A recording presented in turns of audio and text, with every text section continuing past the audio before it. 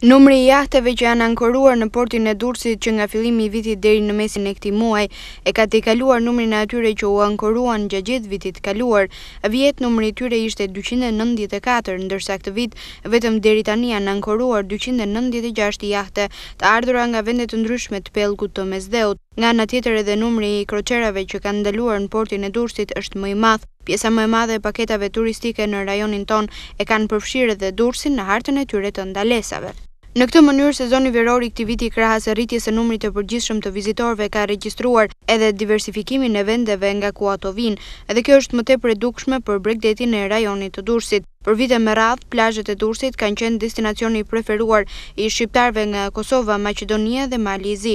Në fakt, ai vijon të mbetet destinacioni i tyre i preferuar, por tashmë shihet se gjithnjë e më shumë të huaj joshqiptarë, kryesisht pushues nga Polonia, Çekia, Hungaria, madje edhe nga Italia, Franca e të tjerë, kanë zgjedhur bregdetin e Durrësit.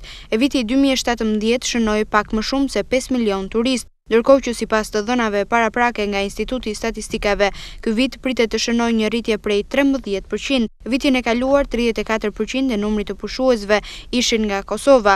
Gjasat janë që edhe këtë vit numri i tyre të jetë po aq i lartë. Ndërkohë këtë vit është thelluar edhe më tepër ajo çka vitin e kaluar u shfaq si risi, numri i pushuesve nga Maqedonia, Greqia, Italia, Gjermania, Polonia, Anglia dhe Çekia ka vijuar të rritet. Porti i Durrësit është një prej treguesve të këtij diversifikimi në rritje. Numri i vizitorëve që hyjnë përmes portit ka qenë sa i lartë, aq edhe i larmishëm.